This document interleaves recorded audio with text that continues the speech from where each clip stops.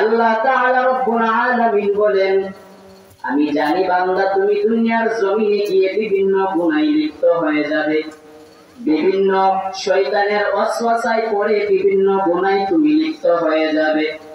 আল্লাহ তাআলা রব্বুল আলামিন বলেন, তোমরা জীবনে যত গুনাহ করো, যদি গুনাহ করতে করতে নিজের নফসটাকে শেষ করেও ফেলো এরপরে তোমরা কখনো নিজেকে খারাপ ভাবিও না আল্লাহ তাআলা বলেন আমার তেলাওয়াতকৃত আয়াতে আল্লাহ তাআলা রব্বুল আলামিন বলেন قل يا عبادي الذين أسرفوا على أنفسهم لا تقنطوا من رحمة الله إن الله يغفر الذنوب جميعا إنه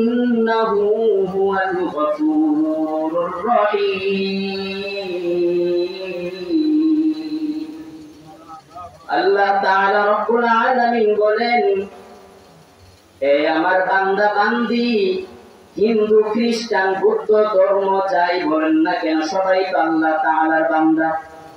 আমি আল্লাহ ঘোষণা দিয়ে দিলাম, লা আমার রহমত থেকে কখনো নৈরাশ হইবা না। কারণ আমি আল্লাহ তাআলা বড় রহমান। আমি আল্লাহ তাআলা বড় রহিম। আমি আল্লাহ তাআলা তোমার জীবনের সব গুনাহ আমি আল্লাহ maaf করে দিব।